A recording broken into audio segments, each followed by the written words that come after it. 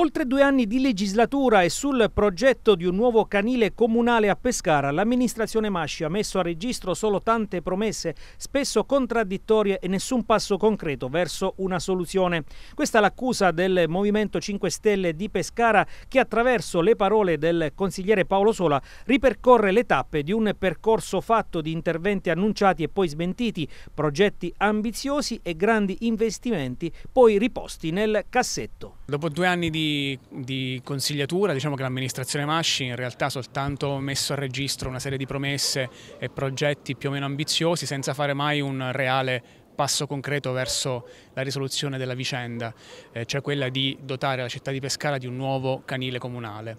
Ora l'opportunità si era creata eh, con un bando eh, del Ministero dell'Interno che metteva a disposizione appunto 10 milioni di euro proprio per gli enti in predissesto finanziario, quindi come il Comune di Pescara, per mettere a norma canili già esistenti o crearne di nuovi.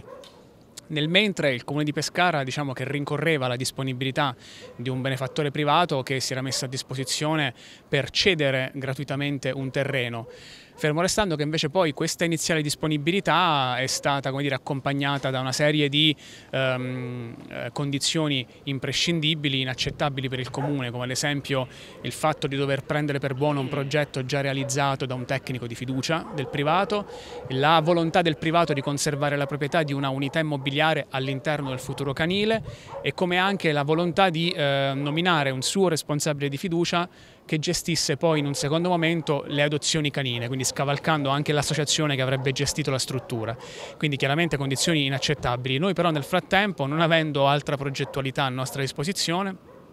come comune abbiamo ben pensato di partecipare a questo bando presentando comunque questo progetto di cui in realtà non abbiamo la proprietà, indicando quel terreno per la realizzazione, terreno che ad oggi non è effettivamente nelle nostre disponibilità. Quindi il paradosso è di eh, rischiare di vincere un bando e non poter utilizzare il finanziamento perché non disponiamo né del progetto né del terreno che abbiamo indicato nella domanda di partecipazione.